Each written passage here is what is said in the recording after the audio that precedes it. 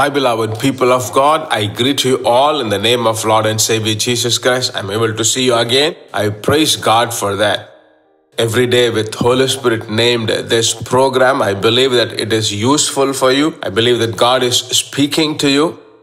I see a lot of people write in the comment section, okay, and it is a great joy. And, and what more important is when, uh, when you hear this message, you're introducing it to many other people because we are in the last day and we should not lean upon our own understanding, the knowledge from the education. Because of the money, we get knowledge and friends' counsel. We should not go and stuck into that. Only the Holy Spirit should guide you. Amen. And you should have the guidance of the Holy Spirit for it. And it is very, very important. Okay. On this day, Children of God, let's turn to Mark chapter 9 and verses 28. This is the word for this day. Let me read it for you. When he had come into the house, his disciples asked him privately, Why could we not cast it out? Amen. He asked him privately. There are some things which we can do, and there are some things we can't do.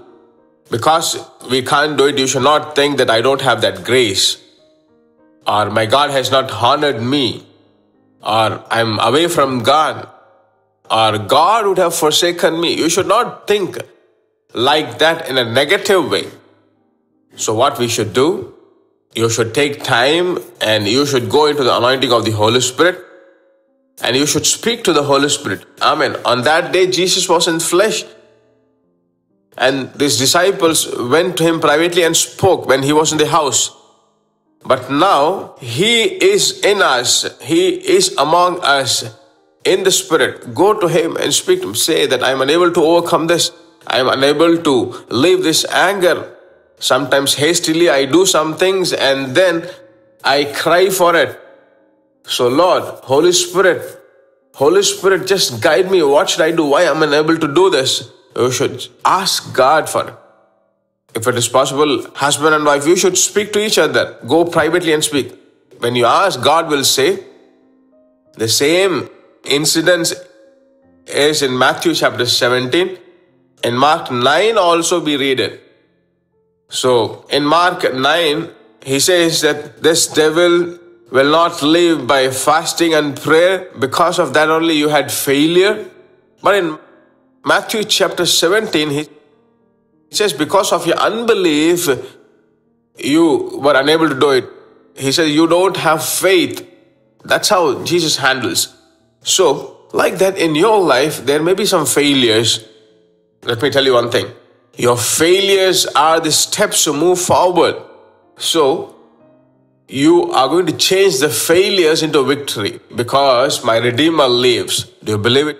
Shall we pray? Lord, why I'm unable to do it, why I can't do it, why it was impossible for me, why I'm unable to do, why I was unable to live a holy life, why I'm unable to forget my past life. Let me tell you one thing.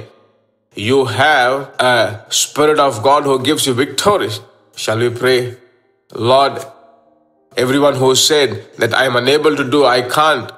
From today, you are the God who can make them prosperous. Today, the God who gives us victory, lead them in a miraculous way. Let your holy name be glorified. Thank you for hearing our prayers. Hallelujah. Let your name be glorified. In the name of Jesus we pray. Amen. Amen. Now you will have a joy in you, right? Keep the joy within you. There are so many people who are unable to have this joy peace, share to them. All those who speak in Hindi, go to the Hindi dubbed one. You can share it to them also. Amen. God's name will be glorified. If God wills, we'll meet you again. God bless you. Our address Jesus Meets Ministries, number 4, Kavarapalayam Main Road, Avadi, Chennai 54, India. Telephone number 9841252836 7299546363. Email ID gpsrobinson at hotmail.com, gps.office www.gpsrobinson.org.